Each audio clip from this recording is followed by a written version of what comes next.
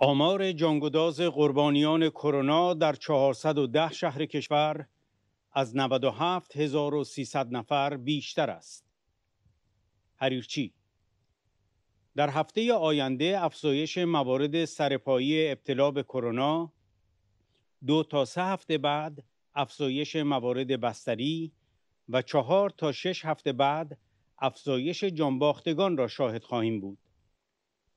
رئیس شبکه بهداشت بندر ماهشهر طی دو هفته گذشته نتیجه 10 تا 15 درصد تست کرونا در بین شهروندان مثبت بود. اما در روزهای اخیر تا 90 درصد نتیجه تست ها مثبت اعلام شده است که این نشان از گسترش نگران کننده زنجیره بیماری است. بیمارستان یحیی نژاد بابل پرسنل ما از شدت فرسودگی هر روز در حال کم شدن هستند. هر روز سه تا پنج نفر مرخصی استعلاجی می گیرند. اگر با همین وضع پیش برود به دلیل کمبود نیرو در زمستان باید بیمارستان را تعطیل کنیم. سخنگوی وزارت بهداشت از اردیبهشت در چهارمحال و بختیاری شاهد روند سعودی موارد ابتلا و بستری کرونا بودیم و اکنون روند افزایش اپیدمی در استان به اوج خود و بیشترین میزان از زمان شروع کرونا رسیده است. سازمان مجاهدین خلق ایران بعد از ظهر امروز دوشنبه دهم شهریور 1399 اعلام کرد آمار جانگداز جانباختگان کرونا در 410 شهر ایران از 97300 نفر بیشتر است.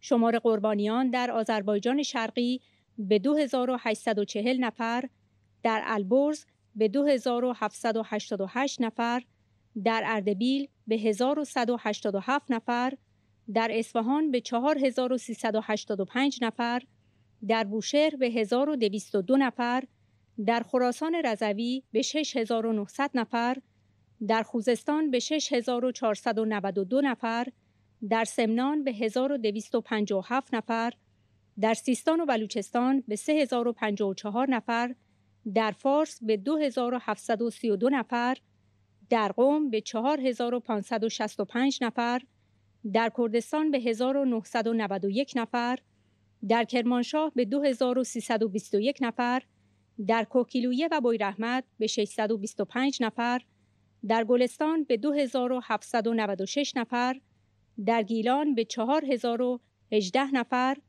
در مازندران به 4708 نفر، در مرکزی به 1261 نفر، در هرمزگان به 1299 نفر، در همدان به 2488 نفر و در یزد به 1209 نفر رسیده است. حریرچی معاون وزارت بهداشت رژیم گفت هفته آینده افزایش موارد سرپایی ابتلا به کووید 19 دو تا سه هفته بعد افزایش موارد بستری و چهار تا شش هفته بعد افزایش جانباختگان را شاهد خواهیم بود.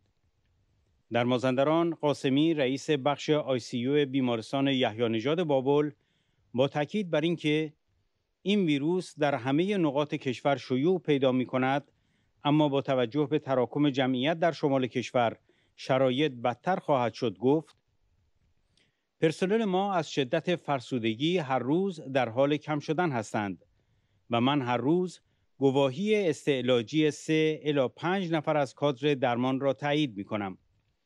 عملا رو به ازمهلال می رویم. اگر با همین وضع پیش برود به دلیل کمبود نیرو در زمستان باید بیمارستان را تعطیل کنیم.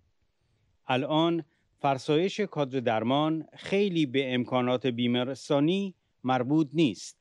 البته آن هم تأثیر دارد ولی مشکل موضوعات اساسی تر مثل مشکلات روحی و خطر ابتلای خودشان مطرح است. در خوزستان رئیس شبکه بهداشت و درمان بندر ماهشهر گفت پیش از این طی دو هفته گذشته 10 تا 15 درصد تست کرونا مثبت بود اما در روزهای اخیر تا 90 درصد نتیجه تست ها مثبت اعلام شده است که این نشان از گسترش نگران کننده زنجیره بیماری است. در اردبیل سرپرست دانشگاه علوم پزشکی گفت میزان بستری روند افزایشی را نشان می دهد.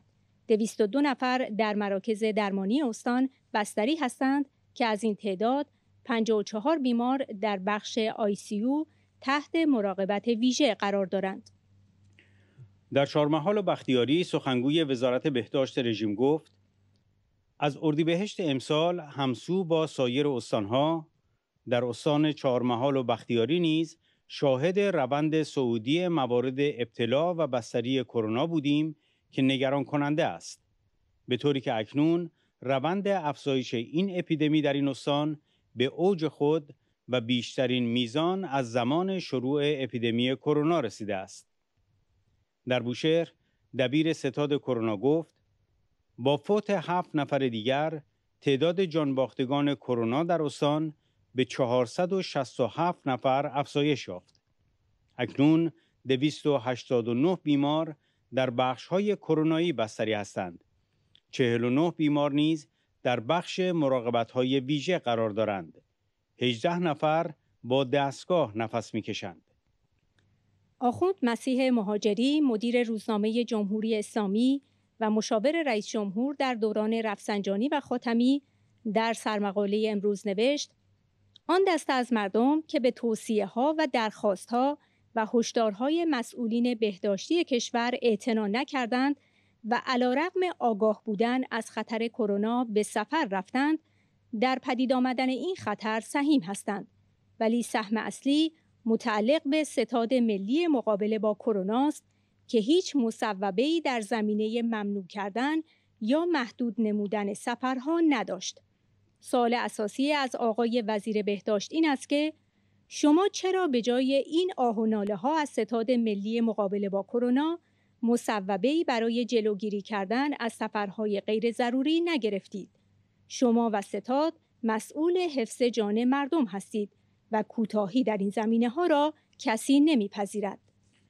یک روزنامه دیگر حکومتی هم نوشت آقای رئیس جمهور پیک سوم کرونا به دلیل سیاست‌های شلکن سفکن در راه است و مسئولیت جان افرادی که ممکن است بر اثر کرونا فوت کنند بر عهده شما و وزیر بهداشت است. دبیرخانه شورای ملی مقاومت ایران دهم شهریور 1399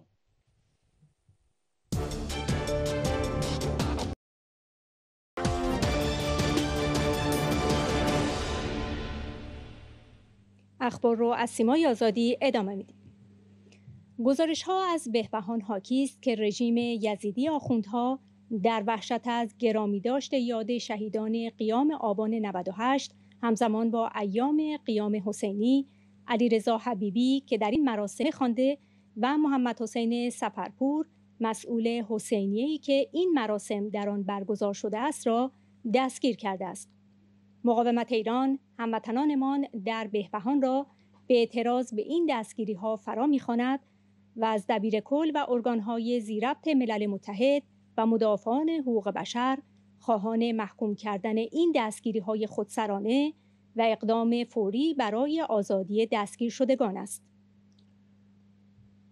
سخنگوی مجاهدین به جوانان شورشگر در بهبهان و سراسر ایران دستگیری و شکنجه سوگواران شهادت فرزاد و محمود و مهرداد در شب آشورا در بهبهان قابل تحمل نیست. به هر طریق به اعتراض برخیزید.